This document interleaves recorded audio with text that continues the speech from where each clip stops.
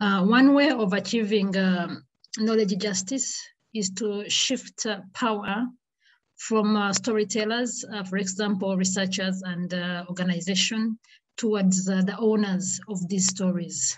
these are survivors and their communities.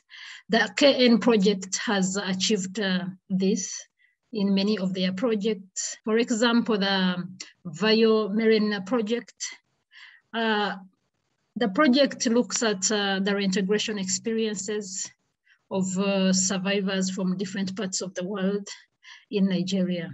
The methodology for used by uh, Marine project is powerful because it includes coaching and mentoring early stage local artists to produce artwork on human trafficking.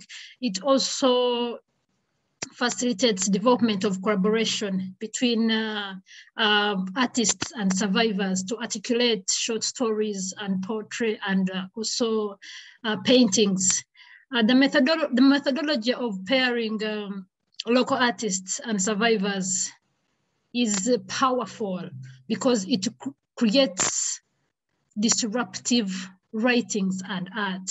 Disruptive in a sense that uh, most of the works on uh, human trafficking works towards creating a pity narrative.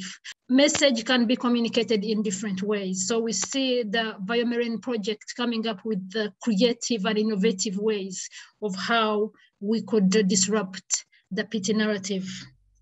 Uh, the content in this project suggests that uh, developing a horizontal collaboration with survivors to create knowledge uh, builds and centers trust.